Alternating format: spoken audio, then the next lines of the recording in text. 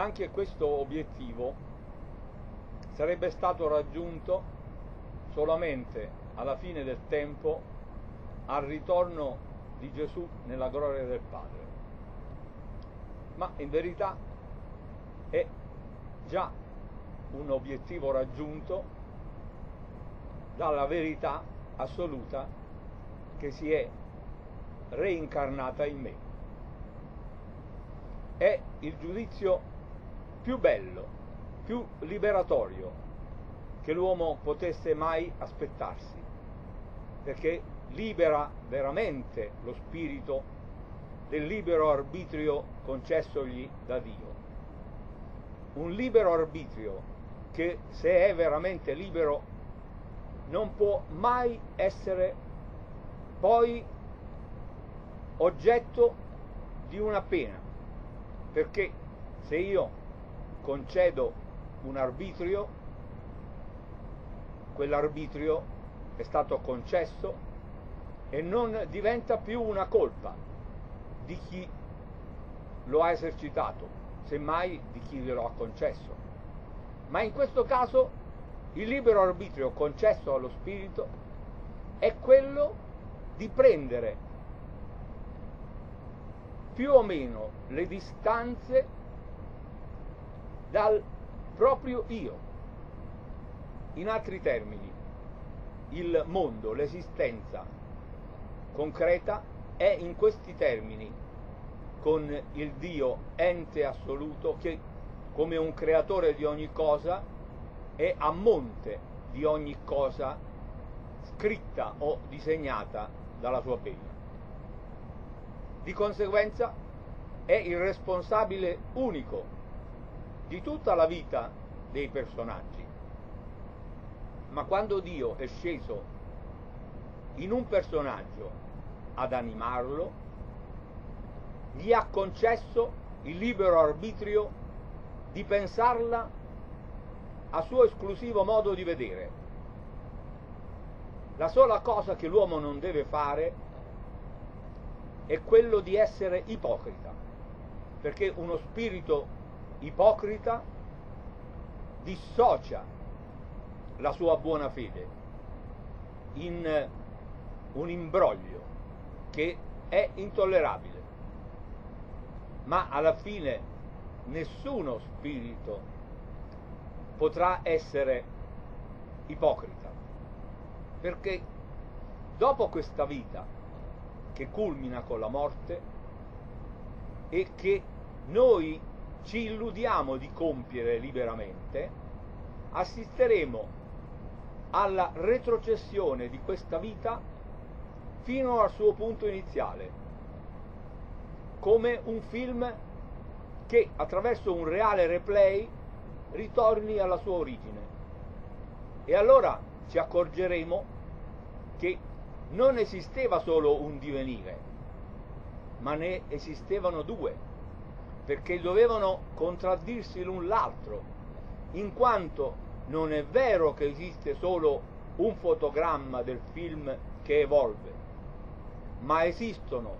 tanti fotogrammi uguali e successivi,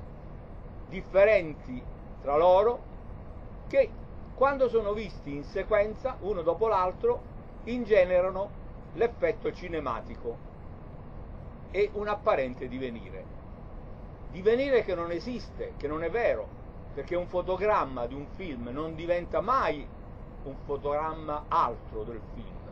fino a diventare l'ultimo fotogramma. No, seguitano a esistere tutti quanti i fotogrammi come le varie sezioni di un eterno progetto. Ma se noi ci inganniamo e crediamo nel divenire, allora dovremo assistere a due successivi divenire uguali e contrari. Infatti noi vediamo questo sulla base di quello uguale e contrario a questo che è già in atto, ma non lo vediamo perché noi, vedendo in modo relativo a quello, non vediamo quello, ma questo, quello relativo, ed è relativo in un modo che è esattamente uguale e contrario a quello. Di conseguenza, l'uomo è imprigionato in una apparenza che gli dà l'idea di una libertà fattiva, che invece non c'è, ma grazie a questa apparenza l'uomo è indotto a entrare in azione con la sua volontà e così facendo si comporta proprio come un bambino che fa le sue esperienze che crede siano assolutamente libere, ma che invece sono ben controllate da un padre che è assolutamente attento a che il figlio non compia nulla che gli possa far male. Di conseguenza il giudizio finale, quello atteso da sempre, è proprio quello che libera ogni soggetto e gli apre il suo paradiso, quello che ogni spirito soggettivo arriva a desiderare, come quel bussare a cui alla fine Dio risponderà. L'uomo busserà attraverso l'ideale sua salvezza.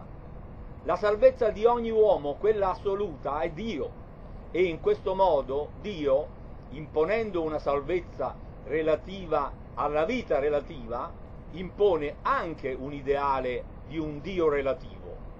relativo al suo presupposto. E questo Dio relativo diventerà per lui il Dio assoluto, perché dopo una vita ricevuta tutta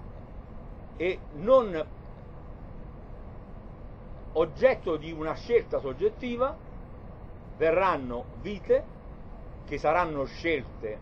da ciascuno di noi attraverso la condivisione della vita che oggi hanno avuto tutti gli altri. Di conseguenza, il limite di quanto oggi non c'è nella mia vita, perché sembra che sia stata data agli altri quell'abbondanza o quel bene che non è stato dato a me, questa apparente rivalità non esiste perché è un ordinato dividersi di tutto il bene in una infinita e sistematica suddivisione. C'è un sistema integrale di tutto il possibile e ognuno ne ha avuto uno coerente e che è equilibrato da tutti gli altri. Di conseguenza, poiché il vero rapporto sta tra me e gli altri, io supererò me attraverso gli altri, ossia attraverso quel bene che oggi appartiene al prossimo. Quindi io riuscirò a godere per condivisione, per comunione, il bene del mio prossimo se oggi avrò imparato a non assumere le distanze. Ma io non sono libero di assumerle o no. Queste distanze derivano dal ruolo che è stato assegnato a me da Dio, al mio personaggio da Dio. Per cui se io sono stato creato con dei nemici, io avrò un paradiso che terrà conto di questi nemici, però alla fine io riuscirò comunque a essere libero perché il libero arbitrio concesso allo spirito è veramente un arbitrio così grande da non essere assolutamente condizionato alla vita reale che ciascuno ha e che ciascuno osserva come l'attore e l'animatore di quella vita assegnatagli da Dio. Quindi il paradiso è assicurato a tutti e ciascuno lo avrà proprio per come lo vorrà, proprio per quell'ideale salvezza che avrà maturato in se stesso e che poi per lui la farà da Dio tanto che farà esistere tra tutto il possibile e navigherà in eterno tra tutti i casi possibili della vita, in tutto l'universo, viaggiando tra i monti, tra i mondi e le stelle, avendo una vita infinita perché è contraria a questa avuta e per fortuna ben definita da una morte.